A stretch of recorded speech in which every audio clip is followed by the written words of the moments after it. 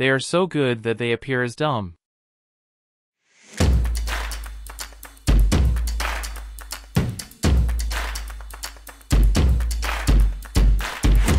Yo people, what's up? I'm back with Spice and Wolf episode 24 review so let's wolf into it.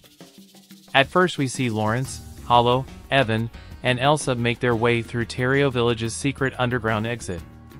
Evan is worried the villagers might catch them, while Lawrence is slightly concerned the path could lead to a dead end. However, they reach a cliff and notice some items and Evan's home nearby. Evan deduces that the underground area was a hole Lord Trio dug for hibernation.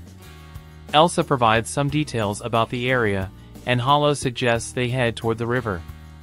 The cave kinda confirms that there was a supernatural snake that helped Tereo from the shadows, and the cave being secretly connected to the church proves that the snake was on pretty good terms with the church. Next we see that in the forest, Holo insists they head to Enberch Town first, believing it will help them understand the situation. She tells Elsa and Evan to turn around as she prepares to transform, warning that if they show fear, she'll devour them. After Holo transforms, the group continues through the forest. Upon reaching the halfway point, they take a break. While resting, Lawrence hears something and investigates, finding several Enberch troops. Evan joins him and asks Holo to kill the troops, but Lawrence advises against it. He suggests going to Kumerson to avoid danger and make a plan. They then spot a high-ranking Enberch church member with the troops, and Lawrence concludes they intend to label the village as pagan. I agree with Lawrence, it would be pretty dumb if Tereo went to war against Enberch, because Holo and Lawrence won't stay with them forever, and Tereo has no chance of winning without their help. Moving on we see Lawrence and Evan return to their resting spot, where Lawrence suggests they keep moving and find a place for breakfast. As they continue through the forest, Elsa asks Holo if she's a god. Holo explains that people regarded her as a god because of what she's done for them. Elsa accepts this and vows to carry on Father Franz's legacy. She then announces her decision to return to Tereo to fulfill her duties and help the villagers. Evan confronts Lawrence about Elsa's choice, and Lawrence offers him advice, explaining what Elsa wants him to accomplish. I can understand why Elsa decided to go back, because most people are very attached to their hometowns, and they consider its people as their own kin, so wanting to protect them is sort of a natural instinct. Also I think there's a good chance that Franz was the snake that protected Tereo. We see Evan reflect on everything and then leaves. Holo pushes Lawrence to the ground, questioning if she was wrong about her judgments.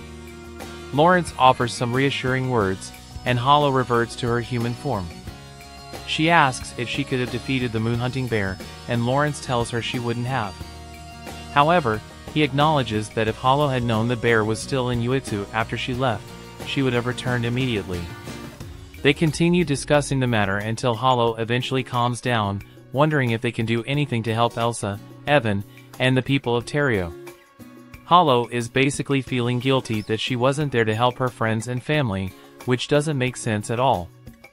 I mean Holo is the wise wolf, so she should understand that her people aren't weak even if she is the strongest among them, so her being there wouldn't have changed the outcome. Also it looks like Holo has a Yandere side too. At the end we see Lawrence recalls Holo's ability to perform miracles and gives her some wheat seeds, which she uses to perform one in front of him. They leave the forest and reunite with Evan and Elsa, returning to the underground exit to discuss Holo's miracle plan. Elsa outlines how they can perform the miracle for the villagers, and Holo agrees, even if it means her status would be below Tereo's god. Lawrence takes charge of handling the monetary negotiations for their plan. Meanwhile, Holo senses Enberch's troops nearby, and Elsa begins to pray. This was just straight up dumb from Lawrence and Holo. I mean most of the people from Tereo wanted to put the blame on Lawrence and Holo and throw them under the bus, yet they are still trying to help those people. I honestly don't like this sort of goodness. Nonetheless, this was a pretty interesting episode that showed us a new side of Holo's character. Anyways thanks for watching everyone. If you like my video then check out some of my other videos.